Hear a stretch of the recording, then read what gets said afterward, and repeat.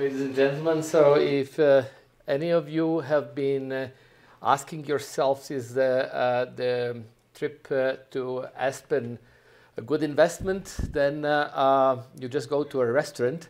I think Marie Valentine remembers the name, I don't. And you ask the waiters, what's the resilience? And the lady will tell you right off, oh, it's bouncing back. So if you don't find any better resilience uh, definition in, uh, in Aspen in, during this week, we can always go back to this one and, and consider it. But, uh, wrong, but, but uh, that's the waitress. so uh, that's part probably of our cycle because in our cycle, we actually have to think and understand how the general public appreciates uh, all the effort which is done in the meetings, also the meeting like this one. And uh, in my talk, I would like to uh, try to see if we can make a bridge between risk and resilience and uh, see what's the role in this process of the new unknown so-called emerging risks and uh, uh, how in all this process uh, um, um, indicators derived from different sources can help us. You can imagine that addressing any of these single issues as such would uh, actually occupy a lot of a talk, but I hope that uh, uh within uh, um, the examples which I'm going to present and a proposal for a new concept which is going to come, um, there will be some material for uh, a good discussion and maybe further thoughts among the group. So if uh, we want to talk about uh, the particular thing which uh, is linking resilience cycle and new unknown risks, uh, we will essentially talk about this event triggering this cycle and uh, leading uh, to the loss of functionality and uh, uh, further, um, so to say, uh, um, phases of the resilience cycle. In that context, we very often forget and in our considerations do not do appropriate mapping of the whole landscape, which would include not only resilience but also all um, other terms, uh, risk, uh, vulnerability, temporality, which uh, was not mentioned so often here, adaptation as a sort of a second definition of resilience, yes. And uh, in my approach uh, uh, presented here, we'll be very much referring to that what Igor was presenting yesterday, so to say, putting the risk as a point in, in this cycle. In um, terms of um, emerging risks, we might uh, uh, remind ourselves uh, without going back to Donald Rumsfeld or anyone from that class, that we actually um, have a, um, the most of our, or the interesting risks, the most interesting risks we talk about are actually in this gray area here, not in this area where we have a good knowledge about outcomes or good knowledge about likelihoods. So uh, if you just uh, go backwards and look uh, for the for the example behind us, I didn't put Paris. Uh, simply didn't want to, to, to, search actuality in this one. But you will see that in all these events, we actually um, had one symptom which was, uh, I think, overlooked over the time. And this was the symptom of uh, the don't worry about it. You know, um, it was, uh, it was an example which is uh, very often quoted, but uh, not uh, very often taken as a, as a, good starting point, that in Pearl Harbor, we actually also had a, an early warning, uh, which was uh, uh, definitely not leading to an appropriate further action. So when we, when we do this, um, this, um, this type of thinking, when we look at how to map the landscape, I think uh, we shouldn't maybe go back down to the Aspen waitress, but should uh, avoid all the things which may lead us to overframing the situation. So if we want to uh, look at, uh, you probably know that how many church councils have been devoted to the definition of what's God and what God is not. Uh, that if we want to, to, to end up and uh, um, with something which is working, we should try to, to rely on that's what's present on the ground and avoid over complexity of the overall things which uh, can make out of the resilience a sort of a religion science. And uh, uh, in that sense, uh, we should also look at the establishing the bridge between the um, resilience and, and risks. And when bridging this river, we should probably not try to make the bridges which actually lead, lead nowhere. So that's just uh, for, for you. So in, in that sense, um, uh, there is an interesting uh, part of the approach in Europe, which may be useful for, uh, for the United States, which is saying that uh, standards and um, a part of the innovation can actually help in enhance uh, the communication and the innovation processes such in itself. So um, uh, in, in that sense, uh, this bridging should actually uh, uh help us uh, provide a better basis for the benchmarking indicators in the, and, and, for instance, scorecards which are developed, we should think who is applying them and who is accepting their results, how they are managed then. ISO 31000 is one of these cornerstones of this process, and in itself, it is just one part of an overall, um, I would call it, uh, infrastructures of standards dealing in the end of the day with risk and resilience. And uh, probably the most interesting one could be uh, the very new one, uh, which is um, the business continuity standard, not even mentioned at uh, this one. It's ISO 22301. Uh, different other uh, documents are dealing with vocabulary definition and similar, and uh, I will not go into, into this one. I will just mention that over standardization can on its own become a risk. I would just remind you that uh, yesterday uh, somebody mentioned that resilience is positive, risk is negative. In the basic definition of ISO 31000, risk is not qualified as bad or good. It is just considered as threat and opportunity. So in that terms, uh, when we uh, talk about uh, risk uh, governance and assessment frameworks, we should uh, then see where the place of both emerging risks and resilience could be. And we are currently working on something which is uh, has taken a DIN specification, DIN document, from 2013. This is this uh, 16649 uh, document, which in itself will be extended with the elements of resilience because in its application cases dealing uh, primarily with the technology and i'm coming from engineering and technology side not dealing too much with cities civil infrastructures and so um, we have uh, looked at this technology um, emerging risks and correspondingly in the, um, in future work uh, uh, technology resilience.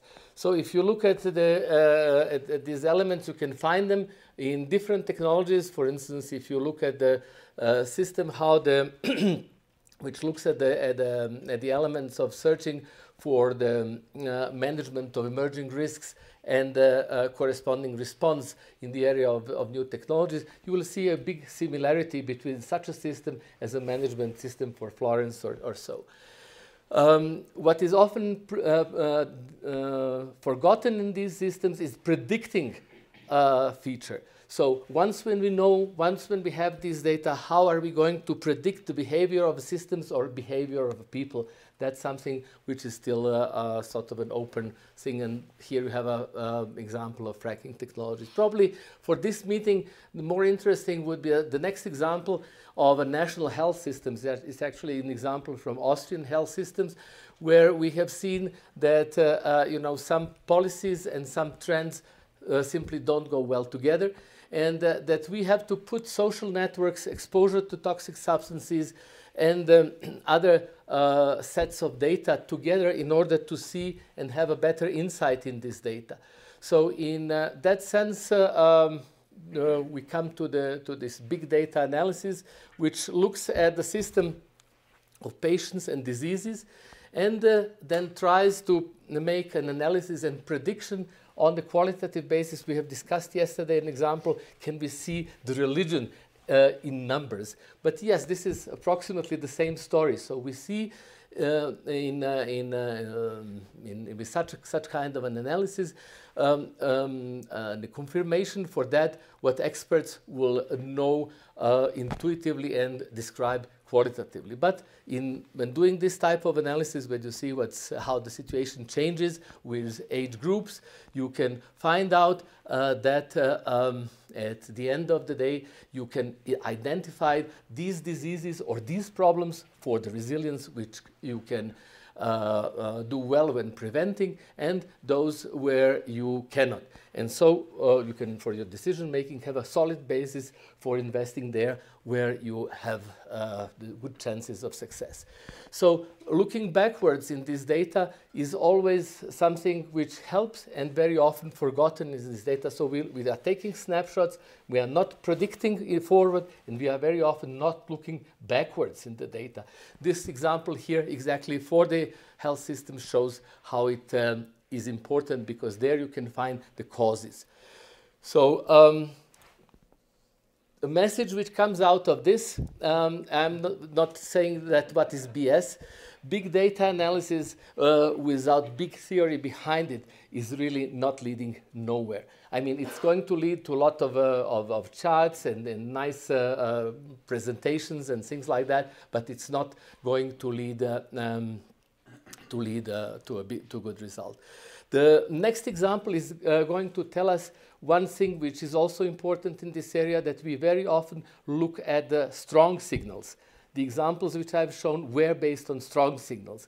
The next thing is, uh, you know, which we work with not European Union, but uh, European industry, is uh, uh working uh, on the, uh, so to say, weak signals. And these weak signals, if you do a sort of a multiplex analysis on these ones, um, allow to identify these sources and these signals which are really considered more as a noise than a real signal and how to identify uh, those which can matter is something which we propose in our research now and is basing on the analysis of how the previous weak signals have developed. So this is something which for insurance industry can help us make a map like this for, from different ri risks. And of course, as Marie-Valentine says, nowadays everybody just replaces word risk with uh, resilience. But uh, of course, if you consider improving resilience as a next step after your risk analysis, you can come to uh, good results by uh, uh, looking at these things this way. So to conclude now about uh, the new risks and re resilience, we can say that when the new risk causes um, uh, the start of the resilience cycle, uh, being it an unknown or uh, event or an emerging risk, we can look in different states for different mm, types of applications to the sources and indicators which are coming from different sources. Uh, we have been facing the problem how to put these indicators on the same level, how to analyze them. And um, uh, one of the, of the possibilities is the one which have been resulting from these examples. Of course, you can look at different layers of data and try to derive out of these resilience indicators. You can try to uh, use and then reformulate these indicators in, uh, so to say, almost uh, uh, quantitative rules and so to the, the same types of indicators as those which are used, for instance, in the in the scorecards and, and checklists. And uh, in uh, that sense, um, the proposal which we have made is the proposal of putting that in something which we call resilience cube. Resilience cube would then be putting the standard indicators coming from the yes from, coming from the um, from the scorecard checklists and so on on one axis, putting those coming from the big and open data on the other one, and using then resilience metrics as a tool which can help us in that sense have a better overview and better uh, mapping. Why? Because at the end of the day, decision will be based on some sort of a rating and benchmarking and identification of the critical elements in the whole structure's weak links. Warning as before made. Conclude. Um, we have a chance, I think, not the least uh, uh, on this meeting, but uh, also in everything what we do now, to try to integrate the things a little bit better, to make this bridge between risk and resilience um, more tangible, not uh, uh, without ended uh, as the bridges which I've shown before, and uh, use the means of standards as a means of communication and putting everybody on the same page. We are at this moment working on with China and, uh, and, and, and, Germany.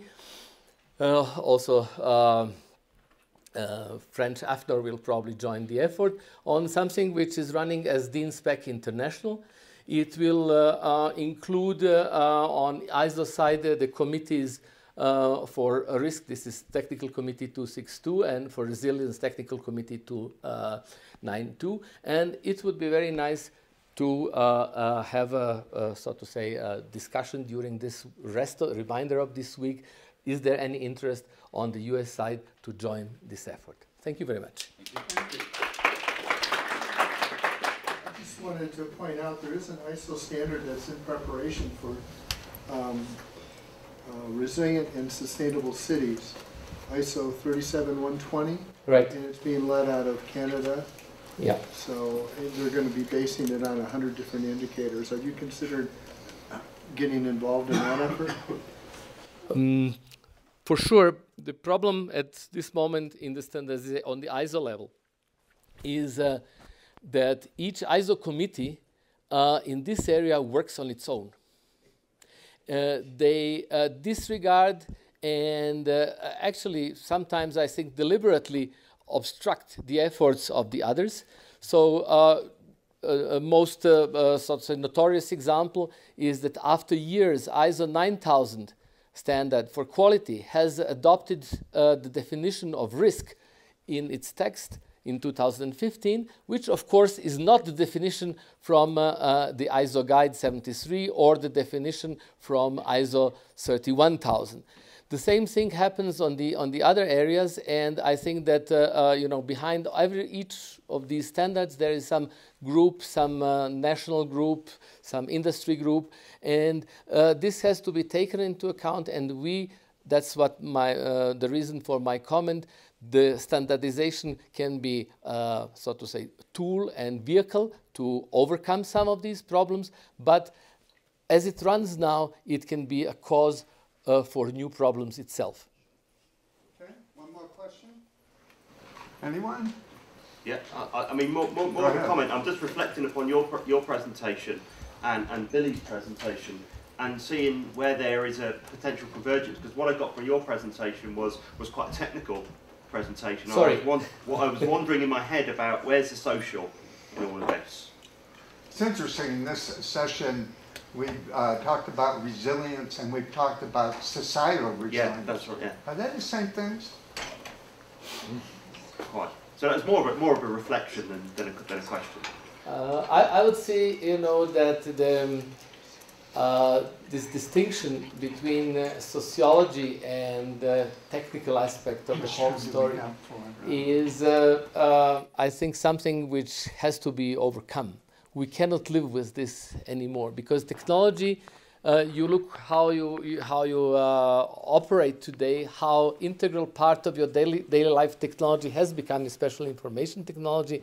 You will understand that uh, when we now uh, solve the, the, the, the, the, technological issues, we cannot look at them uh, without uh, in involving this uh, social part. And on the other hand, we cannot consider social developments without looking at technology.